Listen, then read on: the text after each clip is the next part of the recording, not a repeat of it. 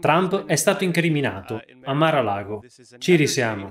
Questa volta è per la storia dei documenti riservati. Contro di lui ci sono sette capi di imputazione. Intralcio alla giustizia, distruzione o falsificazione di documenti, associazione a delinquere e false dichiarazioni. È stato incriminato in Florida, a Miami. È molto probabile che la giuria non sarà unanime. Io penso che le sue probabilità di ottenere un processo equo siano buone e francamente non credo che arriveranno da nessuna parte, ma sarà un buon palcoscenico politico in vista delle elezioni del 2024. E secondo me il motivo è questo. Secondo me stanno solo cercando di sommergere Trump di polemiche. Lo stanno facendo dal 2016, ma finora non ha funzionato.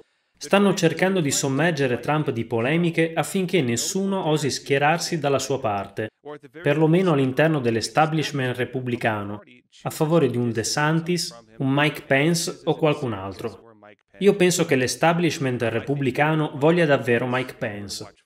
E Fox News e la maggior parte dei principali notiziari ospitano sempre gli altri candidati repubblicani, perché Trump è troppo controverso.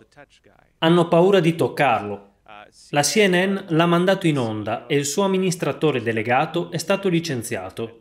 A quanto pare perché un articolo di The Atlantic criticava la CNN per aver osato invitare Trump lasciandolo parlare liberamente. Stanno cercando di trasformarlo in un appestato. Se lo tocchi, se lo porti nel tuo programma, sei fuori. Tornando all'incriminazione, lo ripeto, io non penso proprio che questo processo andrà da nessuna parte. Questa cosa l'hanno fatta Obama, Hillary Clinton, Mike Pence, Joe Biden e, a quanto pare in modo molto più grave, l'ha fatta anche Bill Clinton. Tutti i presidenti, da Ronald Reagan in poi, si sono portati a casa documenti riservati. Trump aveva desecretato i documenti. La lettera in cui dichiara di aver tolto il segreto di Stato è pubblica. Ma qui la questione sarà se i documenti che ha portato a casa erano effettivamente quelli che aveva declassificato. Ma il modo in cui viene inquadrata tutta la questione è semplicemente ridicolo. A mio parere è una grande sciocchezza finalizzata a creare polemiche. Il processo più serio con cui cercheranno di colpirlo è quello per il 6 gennaio, che è ancora in corso.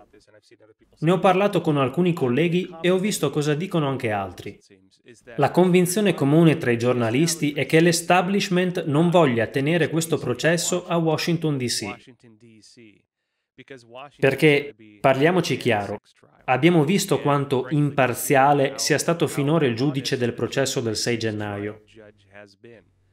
Trump non ha modo di avere processo equo a Washington non ha la minima possibilità di avere una giuria equa e il giudice ha reso evidente la sua estrema parzialità.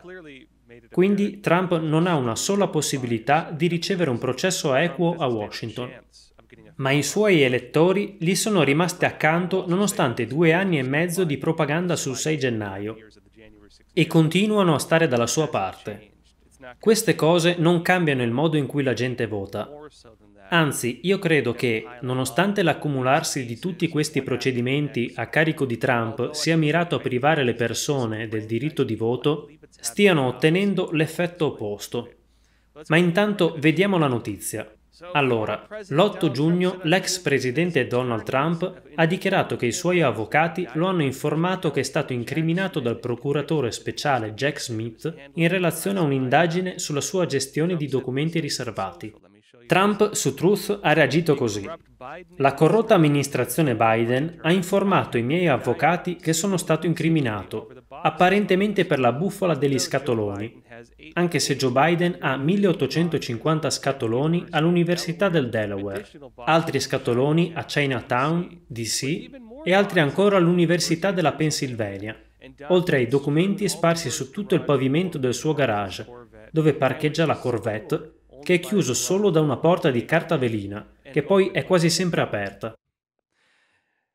Poi, in un altro post, Trump dice Non avrei mai pensato che una cosa del genere potesse accadere a un ex presidente degli Stati Uniti che ha ricevuto molti più voti di qualsiasi altro presidente in carica nella storia del nostro paese e che attualmente è di gran lunga davanti a tutti i candidati, sia democratici che repubblicani, nei sondaggi per le elezioni presidenziali del 2024. Sono un uomo innocente.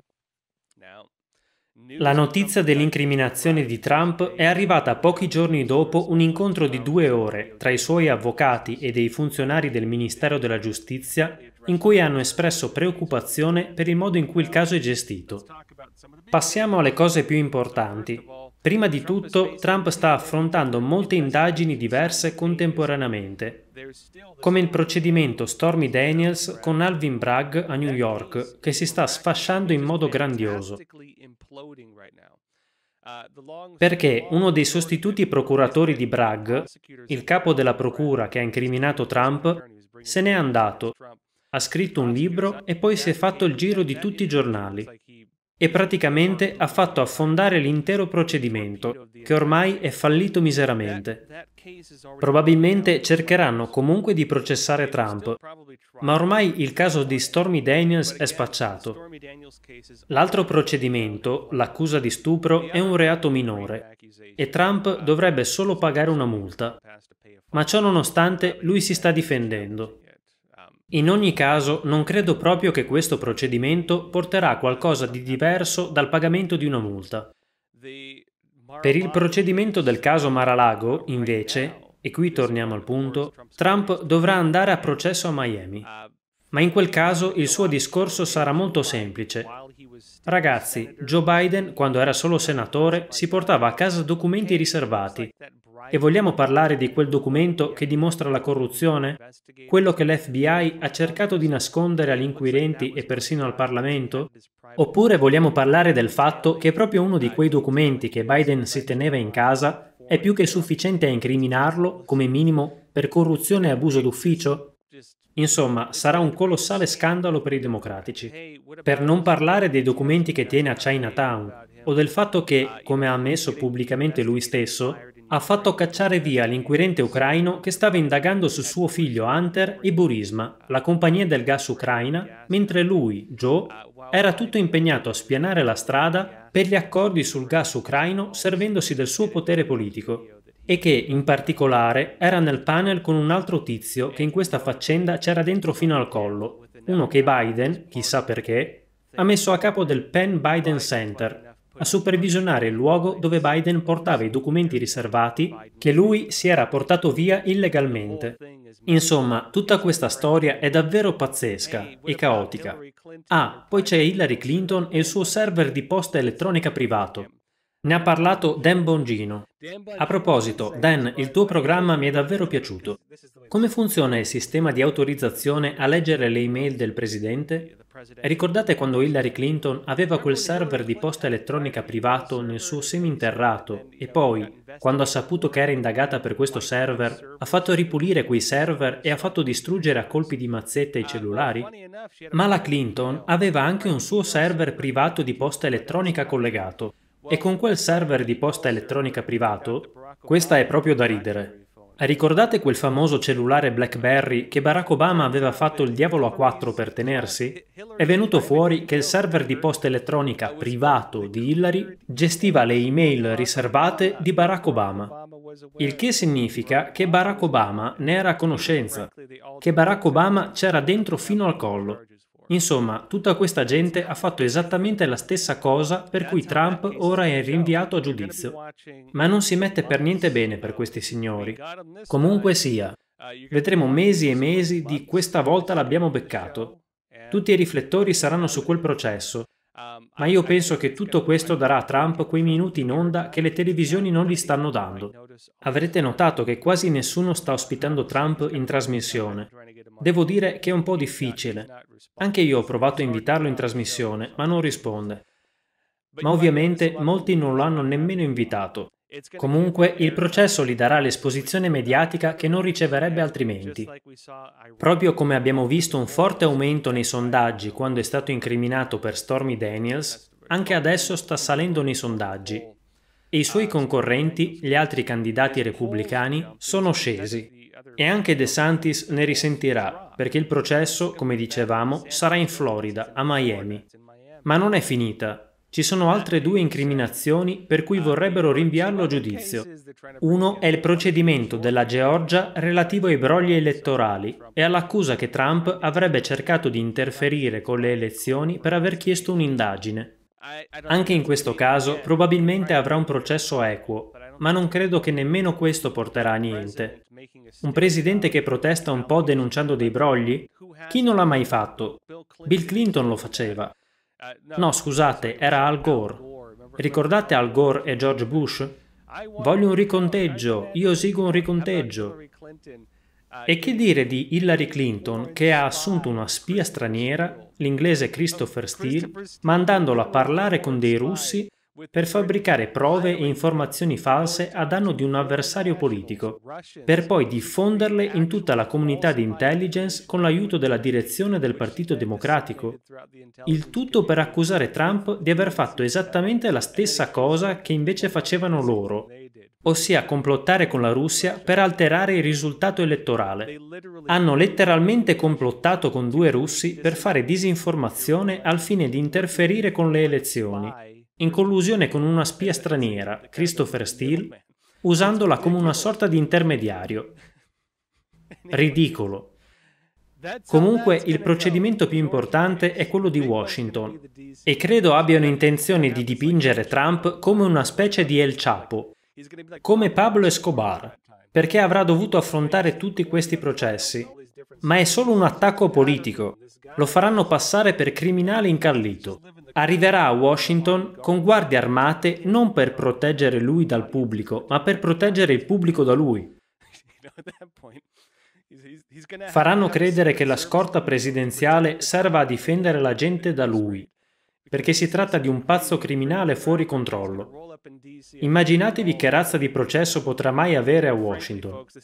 Insomma, è tutto teatro. E come andrà a finire? Nella storia non ha mai funzionato non ha mai funzionato con nessuno. E la storia si ripete sempre. Un candidato politico molto popolare viene attaccato dal sistema. Magari va anche in prigione per un po'. A volte vince dalla prigione. Oppure esce e vince. La storia lo ha dimostrato più e più volte. Non si può far fuori un avversario politico perseguitandolo a livello giudiziario. È una cosa che non funziona. Io credo che il vero obiettivo, questa è solo la mia opinione personale, naturalmente, sia quello di dipingere Trump come uno così sporco, inaffidabile, pericoloso e irresponsabile che l'establishment repubblicano e magari anche i suoi elettori non vogliano più saperne di lui.